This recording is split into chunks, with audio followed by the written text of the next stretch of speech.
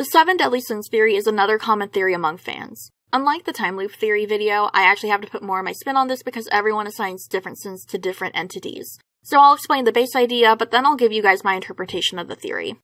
The basic version of this theory is that each overblot victim corresponds to one of Christianity's seven deadly sins. I've also seen some people assign sins to the dorms themselves or the cause of the overblots as well, but we're focusing on the victims today. The sin assignment, as far as I've seen, isn't done to like foreshadow any future event or done to explain any aspect of the story. It's more of a little tie-in sort of thing that doesn't have a huge bearing on the plot. You know what I mean? It's just kind of there for fun, not for function. Like before, I'm not sure who, if anyone, was the first person to come up with this theory, or even what form it took. In case you aren't familiar with Christianity, I wish I was you. uh, the seven deadly sins are a list of quote unquote reprehensible categories of moral misgivings in Christianity. And to uh, clarify, when I say Christianity, I mean Catholicism and then that weird brand of Christianity in the US that fails to actually specify what they are.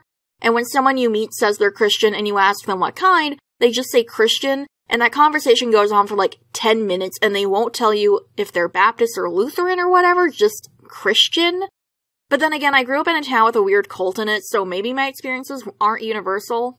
The concept of the seven deadly sins originated from a Greek monk called Evagrius Ponticus as a list of eight no-nos. Later, it spread around Europe and Pope Gregory I revised it to the list we know today. There's also a sister list of seven heavenly virtues, which are good things in contrast with the sins, but those aren't really important to our conversation today.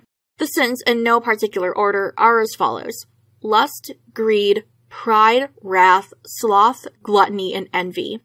There is, however, an old eighth deadly sin. I mean, there's technically two older sins that Pope Gregory I got rid of acedia and vainglory. Vainglory was lumped in with pride, which I agree with since vainglory is just bragging. Acedia, however, is a little harder to define. It's basically depression, both the emotional feeling of depression and the lack of being able to do anything because you don't have the energy, which I'm sure all of us depressed bitches know way too well. Pope Gregory I lumped acedia in with sloth because he felt they were similar, but I personally disagree. I think acedia has enough differences and its own broadness that it should be its own category. I'm including acedia in my personal list because let's be real, there's a theorized eighth overblot anyway, so we need another sin. I don't know if I would necessarily believe this was intentional planning on Toboso's part, but I do think it's fun to think about. So this is my list of sin assignments. Riddle is wrath, Leona is sloth, Azul is greed, Jamil is envy, Vil is pride, Idia is acedia, I'm guessing Malleus is lust, and if our theories about the prologue monster are correct, I think Grim is gluttony. Wrath is anger. That's kind of it. And Riddle is a, a very angry person. I say that lovingly, as someone who has a quick temper myself. But it's very easy to piss him off, as shown with the rampant rule breaking in the story as well as Floyd's provocations. I don't really have anything else to say because Riddle, although a sun boy, is associated with anger. Sloth is, in modern times, laziness. But truthfully, there's more to it than that. It can be not doing what should be done, it's not fulfilling obligations, and what I think fits Leona the most is that it is, and I quote, ceasing to use the seven gifts of grace. Leona is repeatedly shown to be incredibly intelligent, and because those around him have failed him, he stopped caring because he's constantly shunned. He stopped using what gifts he has, which I think falls in line with Sloth more than it does Acedia. Unlike Idia, Leona does care about his dormmates and was shown to work hard in orchestrating the Spell Drive team's sabotage in order to secure Savanaclaw's victory. Thus, I think Leona fits Sloth far better than Acedia. Greed is the all-consuming desire for power, money, etc., etc., and Azul is a capitalist. I think that's self-explanatory. okay, no, not exactly. Although capitalism and greed are bedfellows, there's more to it than that. Azul is repeatedly shown desiring others' abilities. We get this as early in the prologue where he slips up and admits he wants Riddle's unique magic for himself. The majority of his contracts we've seen are for his own personal gain, gathering loads of special abilities and powers. And on top of these powers he gains, he also subjects the other party to do even more work for him. In Book 3, he not only takes magic from his victims, but he also forces them to work in the Mostro Lounge, squeezing them dry for everything they're worth. If that's not greed, I don't know what is. Envy is wanting what others have. Jamil longs for the position of housewarden, and let's be real, he's more than qualified for it. But more than that, he longs to be able to live freely and not hold himself back because of a class system designed to keep people down. Kalim is not just a person, but rather a symbol for this classism, and Jamil is envious that Kalim has no restraints on him. Jamil's whole situation is fairly complex, and we could discuss the classism and the Scalding Sands for a while, but my bottom line is that Jamil longs to be free and to have the position of housewarden which Kalim has. So I would assign envy to Jamil. Pride is described as being so selfish and into yourself that you put yourself and your wants before others. In a non-sin way, Vil is pretty proud of himself and his accomplishments, which he should be. The dude's hella talented.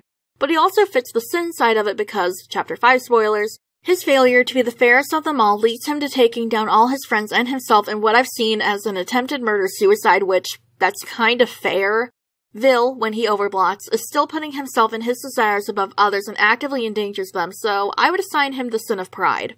Acedia is, as I mentioned earlier, basically depression. It can also mean apathy, carelessness, and if you're religious, lacking in your complete devotion to God. While I wouldn't be surprised if Idia has depression, he definitely is apathetic toward his position as a house warden. He also doesn't put a lot of effort into it. Acedia used to be a word to describe those, especially monks, who weren't giving their all to serve God even though it was their job. Idia's situation seems to run alongside this as he doesn't really give his all to working as a house warden.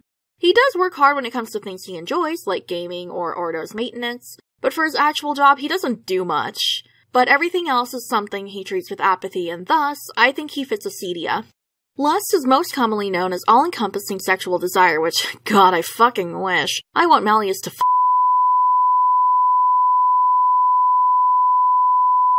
Anyway, lust isn't only sexual. It can also refer to the deep desire for power, wealth, material goods, honestly, kind of anything. Why this didn't get lumped in with greed or gluttony, I don't know. Wikipedia even points out that technically you can lust for food, and somehow it's different from gluttony. So would it really be so much of a stretch to say he lusts for a friend? Wait, no, no. oh my god. He longs for someone to see him as an equal and not be intimidated by him.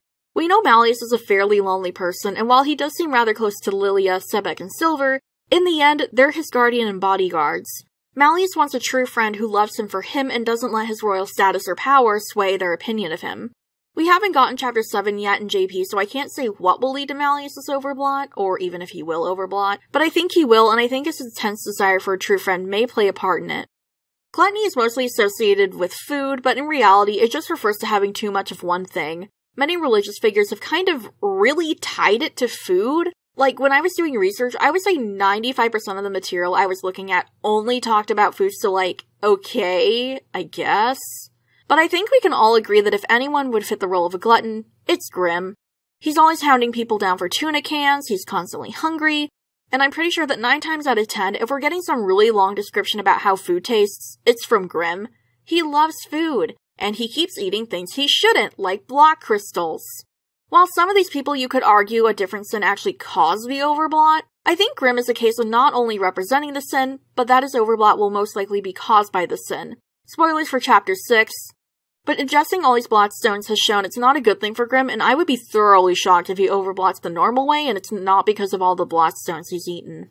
I think the seven deadly sins theory is so popular because it's up for interpretation. You may agree with my assignments, but they're not the only ones out there, and because the sins can be a bit nebulous to begin with, it opens the door for a lot of interpretations. It also has no bearing on the plot, so it can't be something proven wrong because it's solely an opinion. It's a theory that perpetuates itself because if it can't be and it's up for interpretation, everyone can have a say and it keeps the conversation going. And hell, like, I know a lot of people want an RSA arc. If we got that and we got overblots from that, we could easily go into seven heavenly virtues theories.